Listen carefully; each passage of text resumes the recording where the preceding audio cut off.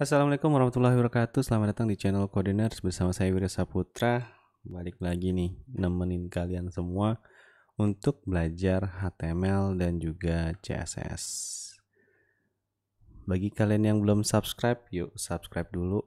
Mumpung subscribe masih gratis dari YouTube Cukup klik subscribe. Kemudian klik juga loncengnya supaya dapat notifikasi uh, video terbaru ketika ada video baru yang saya upload ke YouTube. Terus juga nanti uh, kalian juga bakal dapat notifikasi juga kalau misalkan saya lagi live. Jadi nggak ketinggalan ya. Misalkan saya lagi live bisa langsung tanya-tanya di sana, bisa request juga. Jadi banyak banget manfaatnya sebenarnya kalau misalkan kalian subscribe di channel YouTube ini. Oke, kemudian juga sebelum kita mulai, yuk kita mulai dulu intronya ya.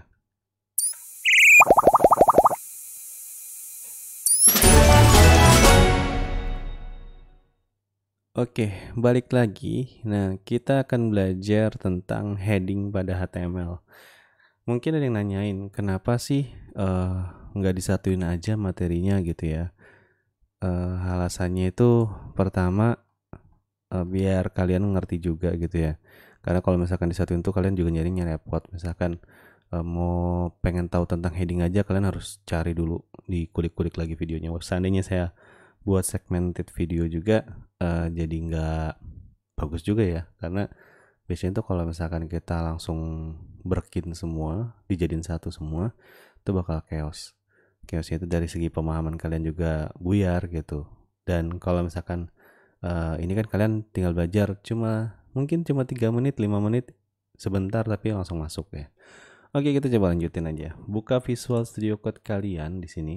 Terus seperti biasa uh, kalian harus copy yang ada di Go Project. Go Project-nya didapat di mana? Nah, itu ada di Telegram. Nah, ini yang ada di Telegram udah join 7 subscriber, baru 7 subscriber. Yuk, join sekarang. Siapa tahu nanti saya berubah pikiran, saya untuk joinnya saya jadiin bar, apa berbayar gitu ya. Jadi join sekarang maupun gratis gitu. Nah, nanti di sini dapat apa aja sih? Dapat updatean. Misalkan saya lagi live. Di sini saya coba kasih semuanya, file-file juga ada di sini semua jadinya lebih enak. Cukup gabung di channel telegram. Cara gabungnya gimana? Cara gabungnya gampang banget. Kalian tinggal cari aja channel telegram codeners oke? Okay? jadi download dulu telegramnya. Nah untuk detailnya bisa lihat di layar ya. Oke kita coba lanjut dulu ya. Nah di sini yang pengen kita pelajarin itu lebih cenderung ke uh, Nah ini Google Projectnya kebetulan udah ada di HTML tutorial ya. Jadi kita tinggal sebenarnya tinggal drag and drop aja ke Visual Studio Code-nya. Kemarin tuh kita udah belajar banyak, kita udah belajar tentang struktur dasar HTML, kita juga udah belajar tentang elemen, kita belajar tentang atribut. Nah sekarang kita belajar tentang heading. Nah bagi heading ini uh, saya nggak bakal masukin filenya ke codener sini ke channel ini. Kenapa? Karena saya ingin kalian benar-benar belajar banget ya. Untuk HTML ini mudah banget. Jadi ini pun gak usah di copy ntar kalian gak belajar. Oke kita coba hapus bagian ini aja. Terus seperti biasa saya akan coba uh, view kemudian running terminal. Nah di sini saya akan coba code spasi watch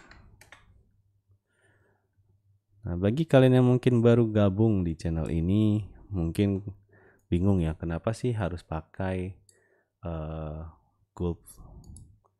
Alasannya satu, uh, kalian bisa langsung lihat live reviewnya nih di sini. Biasanya saya pakai brackets, kalau di pondok tutorial tuh saya pakai brackets. Tapi uh, seiring berjalannya waktu, brackets itu ternyata um, udah jadi nggak bagus juga. Sekarang udah ketinggalan banget sama si Visual Studio Code gitu ya. Makanya saya memakai Visual Studio Code sekarang. Saya mau pastiin dulu make sure soundnya berjalan ya karena saya pernah uh, udah buat video kayak gini soundnya nggak jalan. Itu text time banget. Oke, di sini kita akan coba belajar tentang heading. Untuk heading gampang banget, ini materinya singkat banget. Jadi heading cukup buatnya itu tagnya make tag H diikutin sama angka biasanya si heading ini dia itu bisa sampai 6 gitu ya. Tapi saya merekomendasikan cuma sampai 5 aja karena 6 itu udah kekecilan menurut saya untuk ukuran teksnya. Di sini kalau kayak yang kurang jelas saya akan coba perbesar ya. Nah jadi biar kelihatan. Kali aja nggak kelihatan saya akan coba perbesar dulu oke? Nah kayak gini. Nah terus uh, kita akan coba set H2 heading 2 oke H3 heading 3 oke lagi H4 heading 4 H5 heading 5 nah terus bentukannya akan seperti ini. Terus banyak banget yang bertanya heading ini biasa dipakai di mana sih? Gitu kalau misalkan kalian sering main ke website-website berita kita sering banget nih nemuin heading. Heading itu lebih cenderung ke judul artikel biasanya pakai heading. Ini biasa dipakai untuk SEO eh, search engine optimization terutama untuk judul websitenya biasanya pakai heading 1 kemudian untuk judul artikelnya itu pakai heading 2 gitu. Dan ini perlu kalian tahu cara buatnya itu seperti ini. Gitu. Oke? Kalau ada pertanyaan langsung aja tinggalin komentarnya. Jangan lupa untuk subscribe. Sekali lagi saya uh, menyarankan kalian untuk subscribe. Kenapa? Mumpung masih gratis ya dari YouTube-nya. Oke cukup klik tombol subscribe kemudian klik loncengnya supaya dapat video terbaru. Jadi nanti kalau misalnya ada video terbaru langsung dapat notifikasi. Terus jangan lupa juga untuk gabung di channel Codener supaya kalian bisa dapat updatean video bermanfaat updatean live saya juga uh, file-file yang mungkin dijadiin project ketika saya lagi live update oke okay.